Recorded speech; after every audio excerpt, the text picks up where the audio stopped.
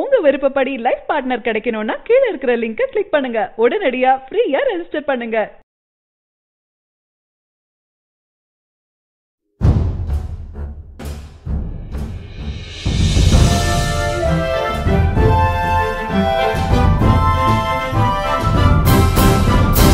சார்பட்ட படத்தை பார்த்து பாராட்டிய கமல்ஹாசன் ஆர்யா பாரஞ்சித் இயக்கத்தில் சார்பட்ட பரம்பரை படத்தில் நடித்திருக்காரு.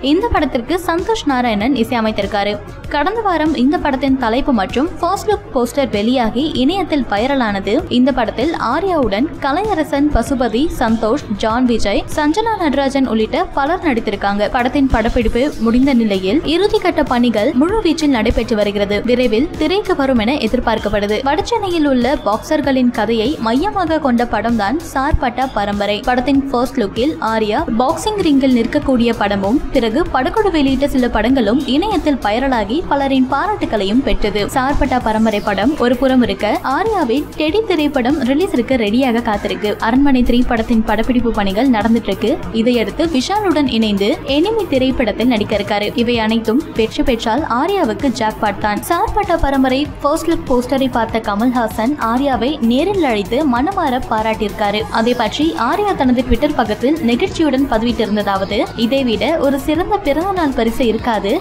இன்றைய நாள் என் வாழ்வில் மறக்க முடியாத சிறந்த நாள். சார்பட்ட பரம்பரை படத்திற்காக நான் செய்த வேலை குறித்து நீங்கள் கருத்து கூறியதற்கு மிகவும் நன்றி. இன்று உங்களிடமிருந்து கற்றுக்கொள்கிறேன். திறமையானவர்களை ஊக்குவிப்பதில் கமலுக்கு நிகர் அவர்தான். சார்பட்ட பரம்பரை உங்கள் கெரியரின் மிகப்பெரிய வெற்றி படமாக அமைய வாழ்த்துக்கள் என்று தெரிவித்துள்ளனர். ஆர்யா பா ரஞ்சித் இயக்கத்தில் நடித்திருப்பது இதுதான் முதல் முறை ஆகும். அட்டகத்தி மெட்ராஸ் கபாலி காலா ஆகிய படங்களை இயக்கி தனக்கென ஒரு இடத்தை பிடித்துள்ள ரஞ்சித் சார்பட்ட பரம்பரை மூலம் வேற லெவலுக்கு செல்வார் என்று ரசிகர்கள் எதிர்பார்த்துட்டு இருக்காங்க. வித்தியாசமாக படம் எடுப்பவர் என்று பெயரெடுத்துள்ளவர் ரஞ்சித். இவர் ஆர்யாவை எப்படி வித்தியாசமாக பயன்படுத்தி இருக்கிறார் என்பதை பார்க்க ரசிகர்கள் ஆவலாக இருக்காங்க. விறுவிறுப்பாக படத்தை ரிலீஸ் செய்ய தயாரான மாஸ்டர் படக்குழு. தமிழ் சினிமாவின் வசூல் சக்கரவர்த்தியாக இருப்பவர் தளபதி விஜய். இவர் நடிப்பில் உருவாகியுள்ள திரைப்படம் மாஸ்டர். இந்த படத்தினை ரசிகர்கள் மட்டுமில்லாமல் பல திரை பிரபலங்களும் திரையில் காண காத்திருக்காங்க ஏனென்றால் தமிழ் சினிமாவின் உச்ச நட்சத்திரமான தளபதி விஜய் மற்றும் விஜய் சேதுபதி இருவரும் இந்த படத்தில் நடித்துள்ளதால் மிகுந்த எதிர்பார்ப்பை ஏற்படுத்தியிருக்கு.